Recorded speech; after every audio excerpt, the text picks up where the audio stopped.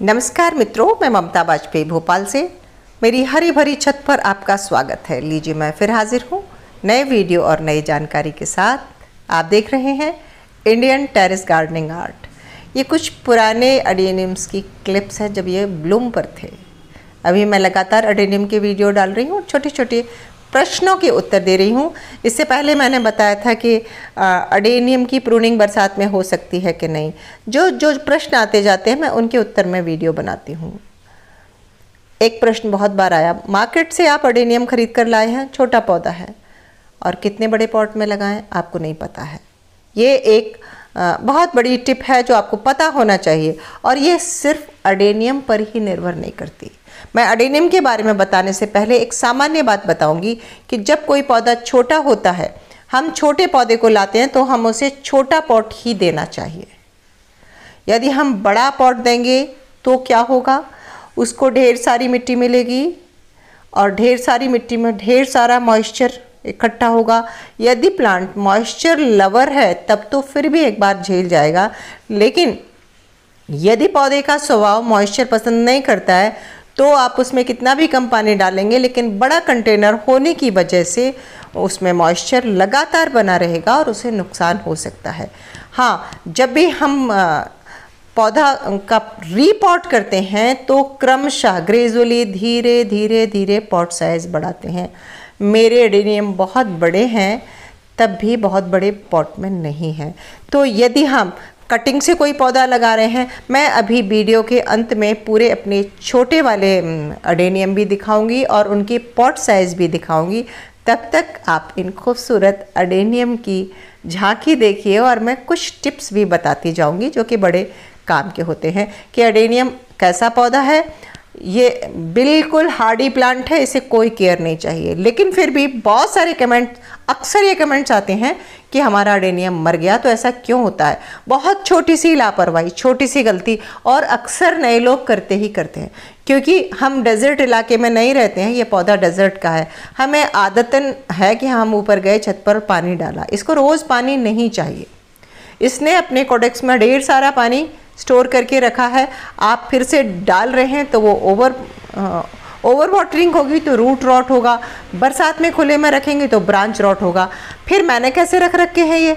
तो आप ये भी समझिए कि मेरे पौधे बहुत बड़े हैं तो इनमें थोड़ा स्टेमिना है। दूसरी बात, ये पूरे दिन की खुली छत पे हवा में है। मॉइस्चर आता भी है तो हवा बहुत है, वो मॉइस्चर हवा से सूख भी जाता है। साथ ही मैंने इसकी जो मिट्टी भरी है, उसमें रेत का परसेंटेज बहुत ज़्यादा है, ताकि पानी रुके नहीं। इसके अलावा मैंने कंटेनर फुल भरा है कंटेनर में जगह नहीं छोड़ी है। यदि आप डीप थोड़ा चार अंगुल खाली छोड़कर कंटेनर भरेंगे, जैसा कि हम भी अक्सर बताते हैं, अगर कोई दूसरा पौधा लगा रहे हैं तो हम कहते हैं कि थोड़ा खाली छोड़िए कंटेनर को, ताकि जब हम पानी डालें तो पानी भरने की जगह हो।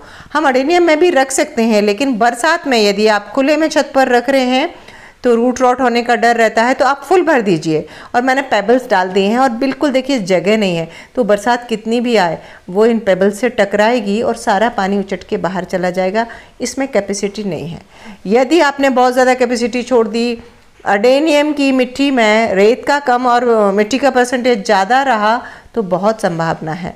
और फिर भी आप चौकीदारी करते रहें कभी कभी छू कर देखते रहें और टहनियों को उलट पलट कर देखते रहें। और साथ में आप कोई भी एक फंगीसाइड का नियमित स्प्रे करते रहें। मैं अपनी सच बात बताऊँ तो शायद आपको विश्वास ना हो मैं बहुत ही कम फंगीसाइड यूज़ करती हूँ।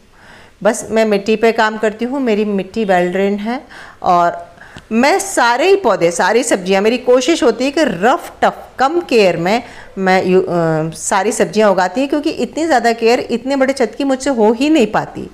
तो अगर कभी कोई एडेनियम मरता भी है तो मुझे इससे ज़्यादा फ़र्क नहीं पड़ता, क्योंकि मैं हर साल कुछ नए पौधे तैयार कर ही लेती हूँ।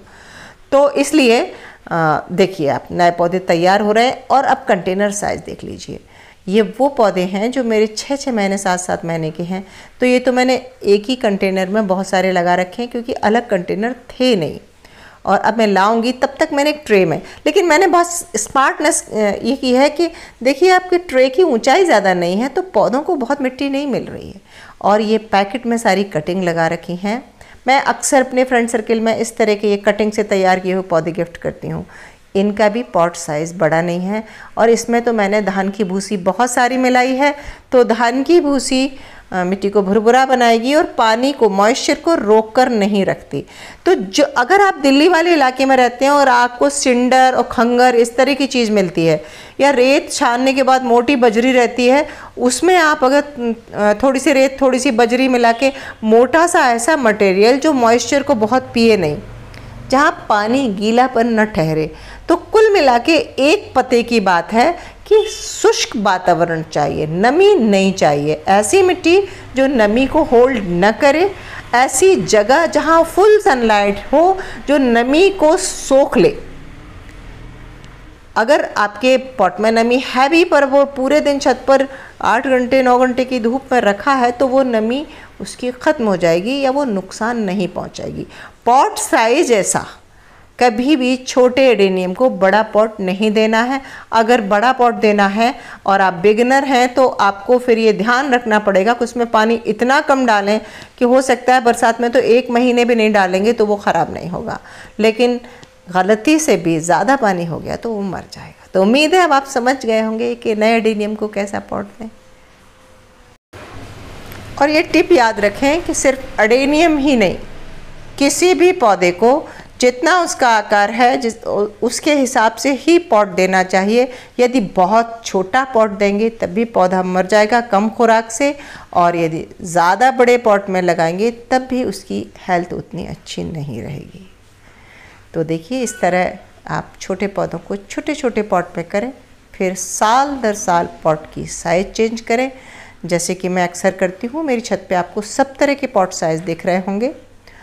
और वीडियो अच्छा लगा होगा तो लाइक करें, शेयर करें, सब्सक्राइब तो मुझे कर ही लें। और मिलते हैं अगले वीडियो में। तब तक के लिए नमस्कार।